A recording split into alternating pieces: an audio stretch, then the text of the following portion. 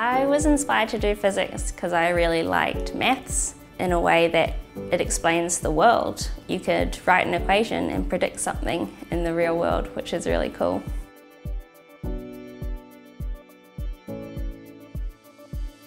Currently, it's a really difficult challenge in medicine to detect breast cancer. What I'm doing in my research is developing a technique that could help to detect it at an early stage. The earlier you catch something like this, the better your chances are.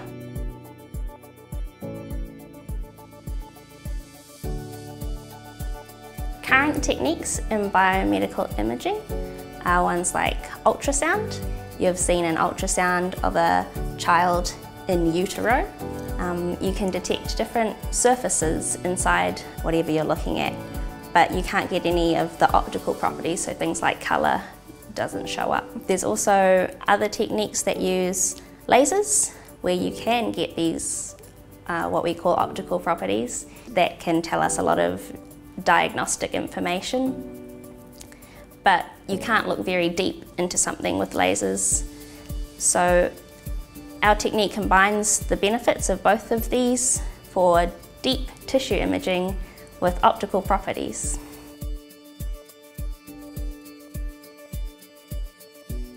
I'll show you the concept. So we start off with a tank of milky water. You can't really see anything inside it and this is representing the human tissue that we want to look inside. And we have a ultrasound transducer which makes an ultrasound wave in the water and it kind of makes what we call an ultrasound bullet. So it's this small amount of water that's been vibrating. So this ultrasound transducer would be the transducer that you put on the outside of a person to take your image. What we do is we shine a laser onto this milky water and it disperses, it diffuses through the milk, bouncing off all the particles. And anything that goes through the ultrasound and interacts with it changes its frequency or its colour. So anything that goes through there is now a slightly different colour of light. And of course, there's lots of other light coming through from other parts. So what we need to do is just detect this shifted light. So we collect all that up with a lens and focus it on this cool little quantum crystal, which we uh, pulse a laser on to make it into a quantum memory. And so all this light that comes on here,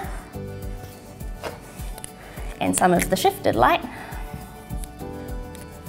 of all that light, only the light that's been shifted is stored in this quantum memory. So it stays here for a small amount of time. Um, the rest of the light comes out and then a little time later we get the shifted light coming out. And what we see is all the regular light coming out and then a small amount of shifted light coming out. And this is what we want to detect.